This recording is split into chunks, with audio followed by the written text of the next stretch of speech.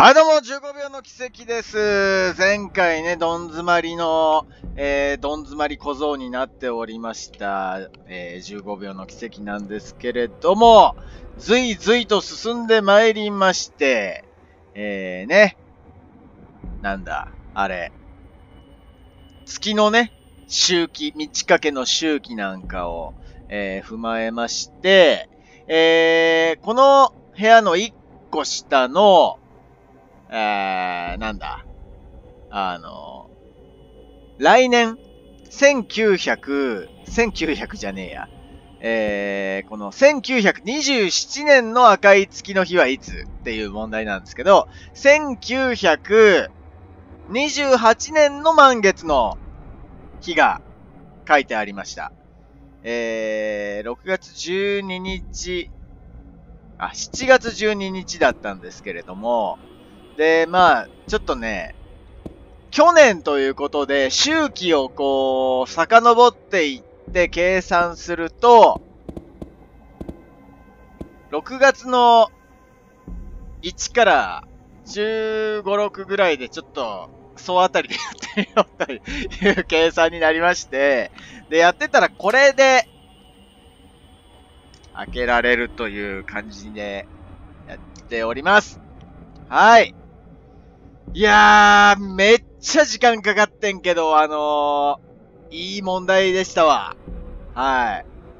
これね、理科でね、小学生の理科で習う授業だったんで、あのー、まあね、暦表とか見ればね、なんとなくわかるんでしょうけど、もうね、大変でした。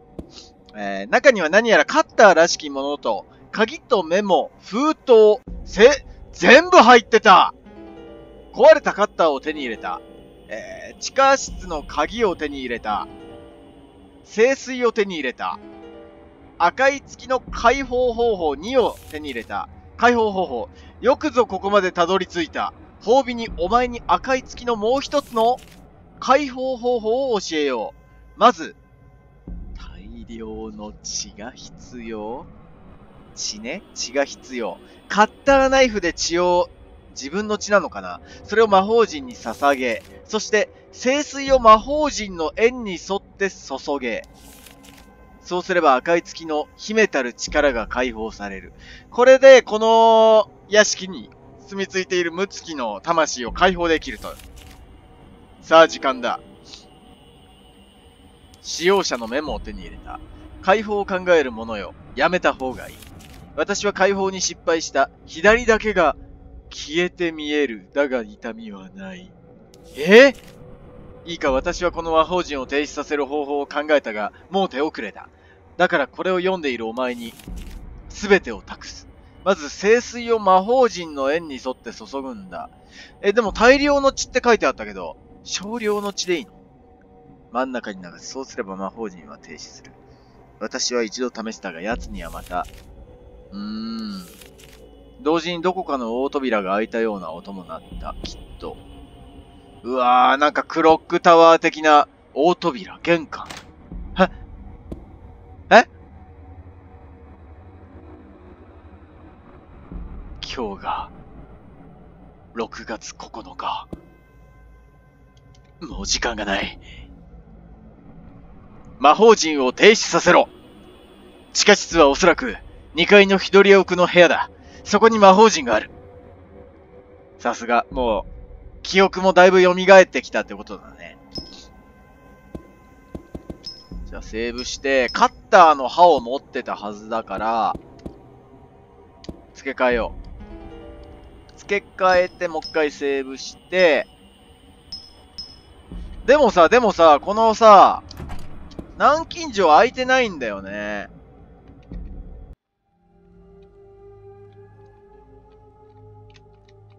南京錠を開けずにクリアできんのかな？南京錠は開けたいよなここも開かない。じゃあもう、クライマックスいっちゃう？じゃあ行こっか。必要な道具は持ってるはず。あれ？開いてる。行くしかないか。先に進んでしまうともうここには戻ってこられません。行きまーす暁行きまーすそれから少し時間が経った。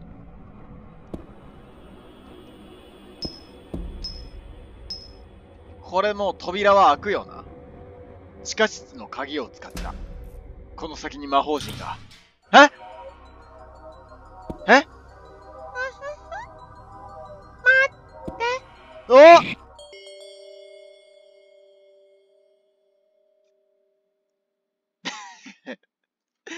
と待ってよ。え？え？ちょっと待ってよ。は土が道、月、月、月が道続ける。カッターで応戦できない？ダメ？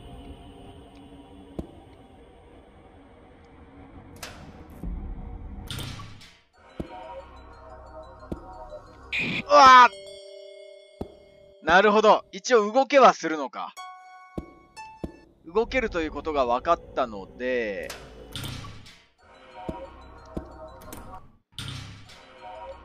おーそういうことかーいメイキティーみたいになっちゃったけど。やば。そういうことか。ダッシュで行って、ダッシュで逃げろってことね。来る。ダッシュで行く。ああ、ああ。危ねえく、来るな 今の音はとりあえず、今のうちに魔法陣を。あいつは止まってんのかやるしかない。いたこれで。ああ。これでどうだ？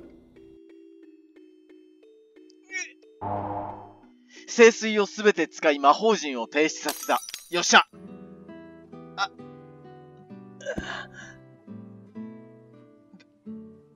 無事か。わ、私は、何を？魔法陣の魔力によって、むつきちゃんは精神をこう、操作されてたわけだ。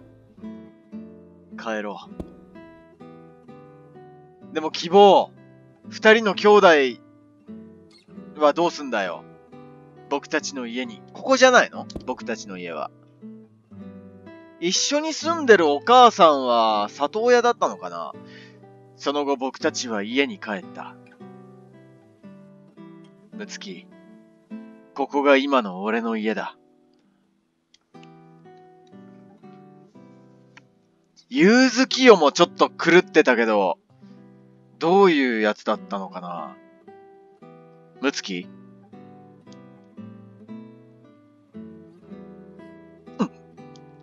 まさか。死んじゃったむっちゃん。これ、ロボットだってことは急いであの屋敷に行かないと。それから俺は、あの屋敷へ一直線に向かった。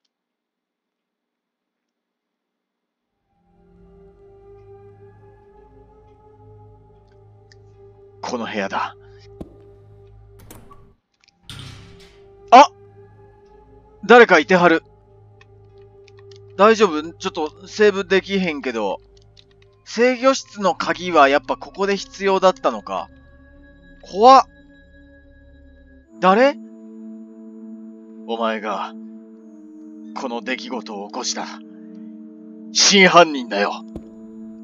つとああ。お母さんだよね、ツトって。せっかくあなたを生贄にしようと、一から作ったのに。お前も自分自身が作ったロボットなんだろう。自分の全てをバックアップして、お前は父さんが考えた赤い月の解放方法を聞いてしまったんだ。そして、その計画を自分のものにしようと考え、父さんを殺した。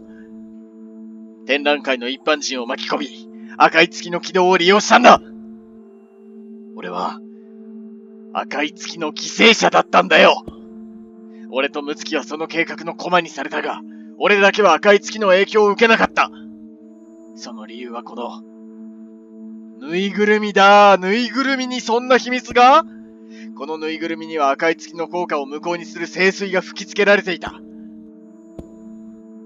それがどうかしたの？なんだと。赤い月の情報をこのまま世界に漏らすわけにはいかない。そう。お前たちがこの屋敷に潜入した時から、もう遅いんだよ。だムツキは人並み外れた力を得たが、成長が止まり、数年後に死んだ。希望？終わりだ。楽しかったよ。そうか、希望もロボットだから制御室でなんか止められちゃうんじゃない？動きを。あ、あの世で楽しませてよ。うわえ？え？やめて！やめて！え？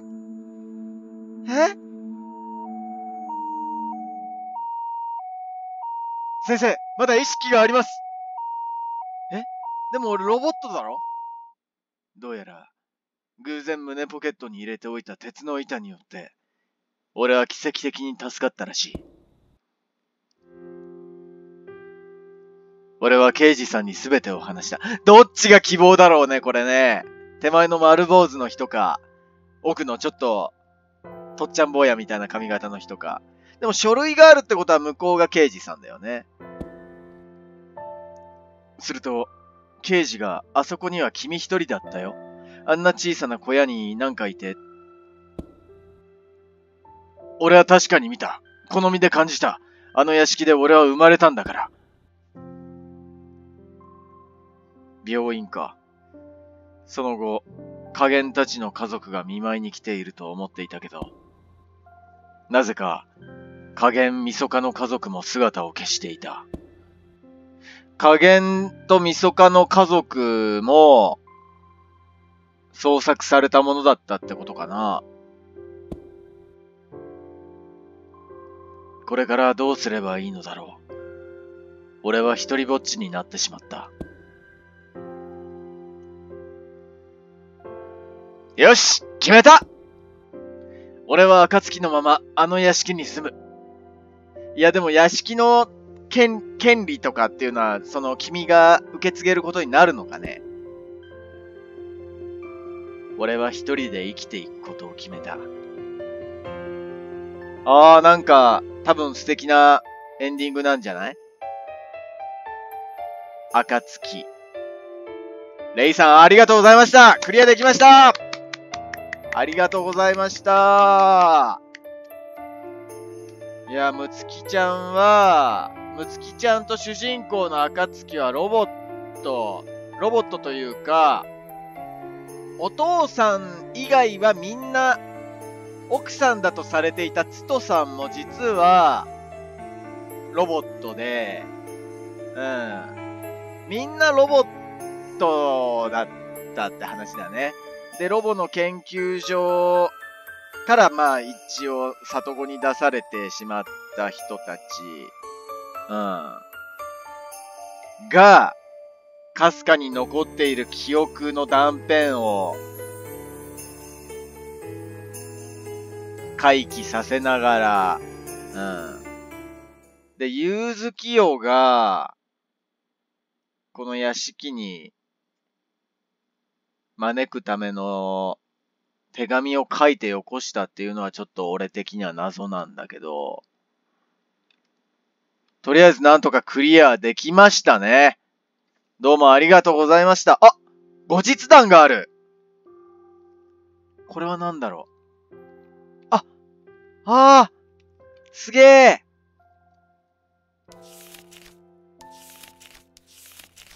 あ、なんかこういう最後の、最後のお楽しみ企画。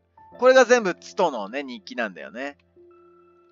で、ツトの日記は全部、あれしたので、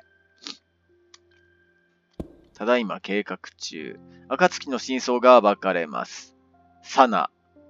あ、へえ。また、すでに、これがそもそもアナザーストーリーなのかな隔離部屋からの脱出。へえ。ほうほう、暁が紙に書かれている逆のことをしていたことが。ああ。必要なもののありかが記されている。いや、もうそれは聞きませんよ、もう。へえ、すげえ。攻略は作者のホームページより書く。えー、そうなんだ。そっか、攻略法とかあるんだ。赤い月について。黒い太陽と赤い月は皆既日食、皆既月食のことで、過去に日食や月食後、偶然、そう、そういうのもね、昔からちょっとね、信じられてますよね。うん。私は食堂の席に着いた時、ある鍵をテーブルの下で見つけた。その鍵は今もそこにぬ、えー、何それ何それ知らない。赤い月について解放方法。まるでホラー映画のような気味の悪さがあります。ほう。うん、最悪の前兆としてね。えー、赤い太陽と血のような赤い月が見えたとき、えー巨大な地震が、ね。やたら性欲が高まるとかね。うん。それはいいか。えーこれは読んだ。招待状、招待状もね。つと、てめえ、この野郎お前が、お前が全てを仕組んだ犯人だろうあら、エンディングをご覧になったのね。どうだった？ここではエンディングを迎えた人が来れる最後のお部屋よ。どうぞ楽しんで。ありがとうございます。お父さんみつるさんどうした？何か聞きたいことでもあるのか？あなたは誰？俺か。俺はお前たちの父のみつるだ。トゥルーエンドの方法。ん？トゥルーエンドの方法がわからない。なら教えてやろう。トゥルーエンドに必要な4つのものを揃えると、その4つのものはアイテムに、あ、俺4つも揃えてないぞ。ぬいぐるみと四角い板はゲットしたと思うけど、あ、でもトゥルーエンドって書いてあったから、トゥルーエンドに必要なアイテムは俺全部持ってたのか。知らず知らずのうちにアイテムを回収していたようだね。ようやくこの時が来た。ついに完成した。これであの子も。さようなら私。誰の残したメッセージだろう。あ、子供、子供時代のみんながいる。むつき、少女時代。少女時代ですよ。みそか、少女時代。少女時代ですよ。加減。宵闇ね。で、これが主人公の若かりし。コピーロボット。本作の主人公、高、あ、高校生だったんだ。だからね、漫画本がタンスにいっぱいあったんだ。冷静な性格。いわゆる時の運の持ち主であるようだ。え現に彼は持っていたあるものによって危機を、うん。よくあるやつね。なんか刑事ドラマとかで、鉄砲で撃たれてたまたま生きてたっていうね。うん。スパイなどに憧れがあり、コードネームをつけて、ああ、なるほどね。だから月にまつわるね、コードネームをもらったんだ。みそか。えー、本作の主人公の仲間。敵だったけどね。うん。むつきと、ほぼほぼ同じタイミングで生まれた子供だよね。むつき、お前、俺を殺そうとしやがってよ。ホラー演出役。えー、赤い月の実験台とされた、ツトが作成した遠隔操作型のロボットである。かなり他の3人と比べおとなしい性性格であったようだ。はーい。じゃあこんな感じですね。いやー、楽しませていただきました。また、えー、ね、この赤い月、赤月の、えー別バージョンといいますか、えー本作品とはまた違った次回作なんかもね、えー面白そうだと思うので、ぜひ体験してみたいと思います。ひとまず、無事クリアさせていただきました。皆さんもね、頑張って、えー、こちらのゲーム興味ありましたら、プレイしてみてください。どうも、ありがとうございました。チャンネル登録、いいね、随時お待ちしております。それではまたお会いしましょう。バイバイ次回を待て